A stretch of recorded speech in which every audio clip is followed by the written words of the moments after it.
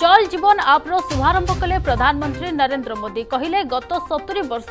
भारी पड़ा दुई वर्षर काम पा सप्लायर रियल टाइम मॉनिटरिंग और गुणवत्ता जांच उपरे जोर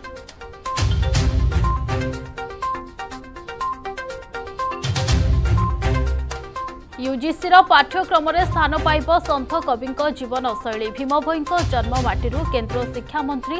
ଧର୍ମେନ୍ଦ୍ର ପ୍ରଧାନଙ୍କ ଘୋଷଣା ଓଡ଼ିଆ ଜାତିର ଓ ଭାରତୀୟ ସଂସ୍କୃତିର ମହାନାୟକକୁ ଜାଣିବ ବିଶ୍ୱ महात्मा गान्धी र लालबहादुर शास्त्रीको जन्मवार्ष राजाट विजयघाटर श्रद्धाञ्जली दे राष्ट्रपति प्रधानमन्त्री अनुगुलर केन्द्रमन्त्री धर्मेन्द्र प्रधान पदयात्रा अरट चल गांधीजी को जन सम्मान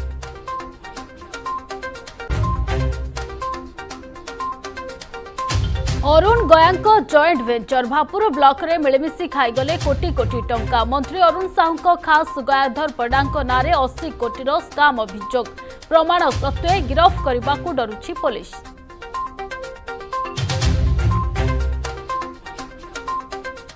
न्याय पर महालढ़ई सामान घटन यूपी में है आक्शन मनीष गुप्ता परिवार को भेटी न्याय प्रतिश्रुति दे मुख्यमंत्री योगी आदित्यनाथ କିନ୍ତୁ ଓଡ଼ିଶାରେ ଚୁପ୍ ରାଜ୍ୟ ସରକାର ନ୍ୟାୟ ପାଇଁ ନେହୁରା ହେଲେ ବି ଗୋବିନ୍ଦ କୁମ୍ଭାରଙ୍କ ପରିବାରକୁ ମିଳିଲାନି ନ୍ୟାୟ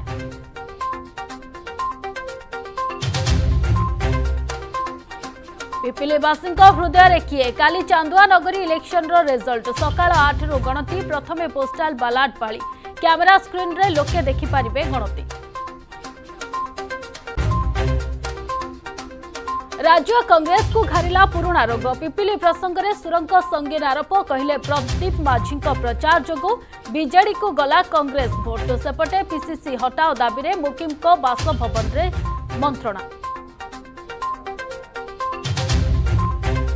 कहा सुरक्षा विजेर बाहुबली विधायक प्रशांत जगदेव कोड़े दिन पर भी गिरफ्त हेले प्रसाद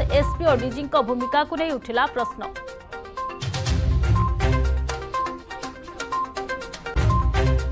ବାବଦରେ ଚର୍ଚ୍ଚାରେ କବି ଡାକ୍ତର ଶୁଭ କୁମାର ଦାସ ପେଶାରେ ଡାକ୍ତର ନିଶା ଶବ୍ଦ ସହ ଶବ୍ଦ ଛନ୍ତି ଚମତ୍କାର ସର୍ଜନା କରିବା ଲେଖନୀ ମୁନରେ ଦେଇଛନ୍ତି ଅକୁହା ଭାବନାକୁ ଭିନ୍ନ ରୂପ